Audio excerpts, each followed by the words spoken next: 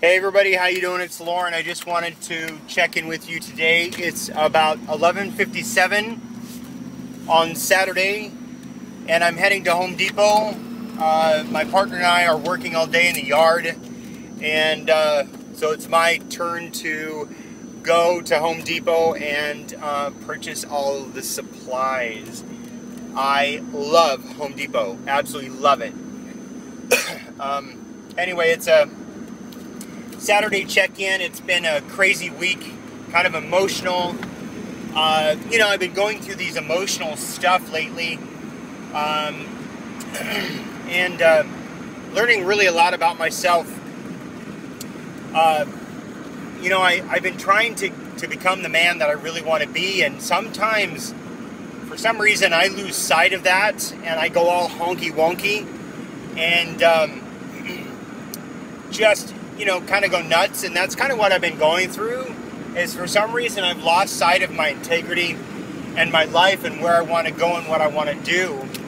Um, I totally realized that uh, I am such a people pleaser, and in doing so, I really lose sight of, of what my wants are, and it sucks because you know I'm I'm into some things that I'm I really uh, thought I would enjoy and thought I would really dig, and it's not so much. You know, I've made uh, a lot of great friends, and um, it's it's really hard when uh,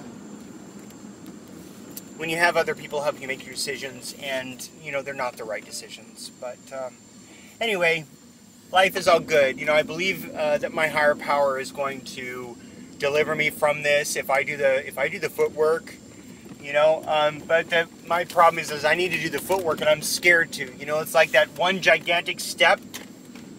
Um, you know, you're looking over the cliff, and it looks like it's like a thousand feet down, and you know your higher power and your universe is saying, take the leap, jump, we'll take care of you, and you can't see but that thousand feet down and you know you're so close to the platform that there's this little tiny micro platform that you can't see that if you would just put your foot out there and and step on it it would support your weight.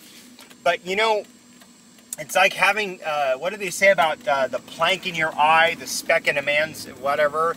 It's almost like having you know that i don't know that's a bad analogy but whatever.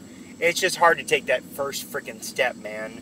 Um, I'm just afraid that I'm going to fall a thousand feet and my higher power is not going to catch me uh, because I've gone so long, I guess, being my own higher power, you know, saying I believe in God, which I do, but not really, not really trusting God to get me past through the really hard points. And I think um, for me, that's a really big problem, you know. Uh, just letting go and letting God um, or letting my higher power, you know. And see, I'm even afraid to say God because I'm afraid to turn people off. No, it's God. I'm afraid to, you know, that to let God do, to take control. So, anyway, love you guys. Just wanted to check in. Um, I'm here at Home, Home Depot, Home Depot, and uh, I will talk to you all later. All right, ciao, Bellas.